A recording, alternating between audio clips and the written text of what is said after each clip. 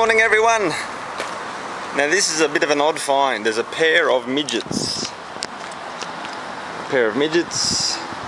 Daihatsu midgets. Um, they're small. Um, just to give you some indication. No, well they're just small, trust me. Condition is pretty poor. Um, now these things here had a, a single cylinder engine just in front of the driver. So right about there. Rusty. Rusty. So I guess they put the tarpaulin on in, a, in an effort to preserve it and it didn't really work. There's a midget badge.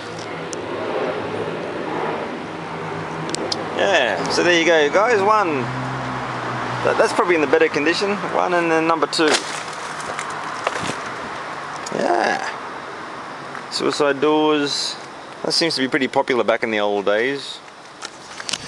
Okay guys, well that's about it. Two midgets. Um, interesting car. Thank you very much. See ya.